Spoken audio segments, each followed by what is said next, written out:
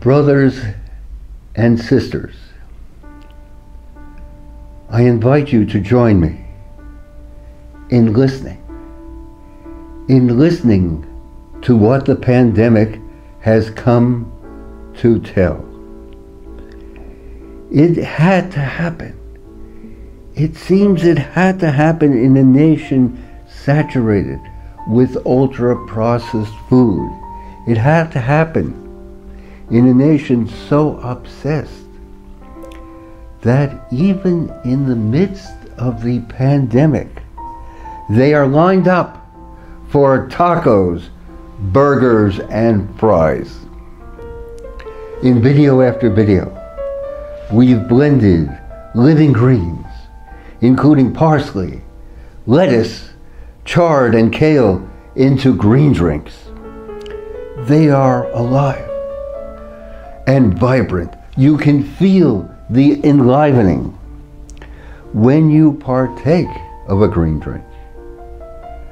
You're standing on the shoulders of giants, like Dr. Kirschner, who at 82 years of age burst out of the drear of the 60s with his nature's healing grasses.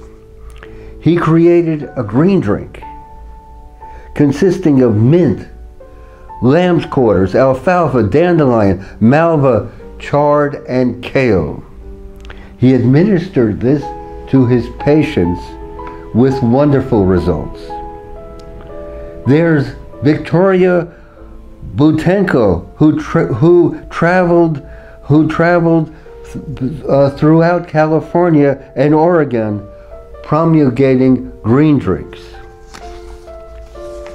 They were preceded long before by Professor Arnold Ehret. He came to California from Germany in the early 1920s.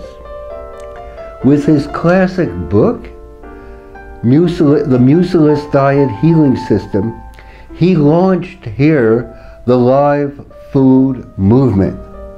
Both books, by the way, are available on Amazon.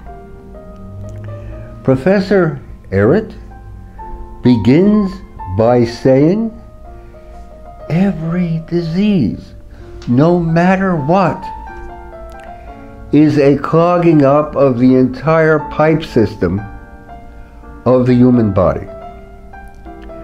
This realization is bedrock we have come to realize that wrongful feeding is the prime cause of illness. May we suggest that we start from that premise, that we reclaim ourselves, our vitality, our bodies by beginning with a cleansing. Yes, a fast on water. After all, Fasting is the royal road to vibrant good health. When one comes off a fast properly, one feels rejuvenated and recreated. So think of it, brothers and sisters. Think of it. A day of just drinking water. Can you handle it? A day of a national day of fasting a day of contrition, a day of renewal, a day of regeneration, a day of cleansing, a day of just drinking water where a third of the people are obese. And maybe a day of whole foods, just fruits and vegetables, no snacks, no soft drinks, no takeout. Recall that ultra processed foods is on the fast track to obesity. The next stop is diabetes, and after that, life threatening illness. Imagine also a day a day of vigorous exercise. Imagine every park, every playground, every schoolyard filled with Americans rejoicing in calisthenics, stretching and moving to the sound of music. And why not then proclaim a day of planting trees? Every American planting a tree. What can be more life giving? What better way to stabilize the climate and revitalize this American earth? The winter months are just ahead. That's the ideal, the ideal time to plant a tree.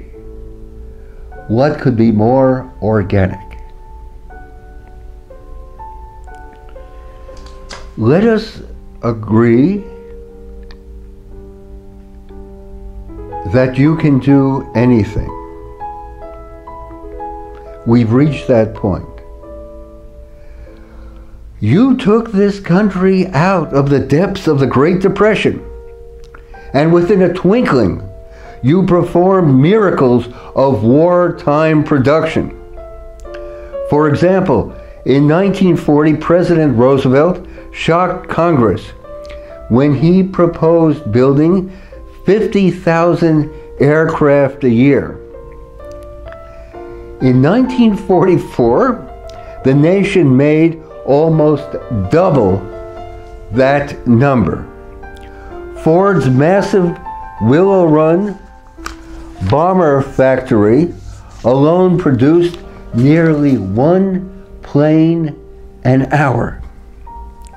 By 1944, America led the world in arms production, making more than enough to fulfill its needs and at the same time provided its allies with critically needed supplies.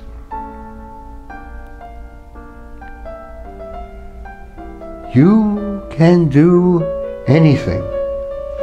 You can lead us through the cleansing and regeneration we so desperately need.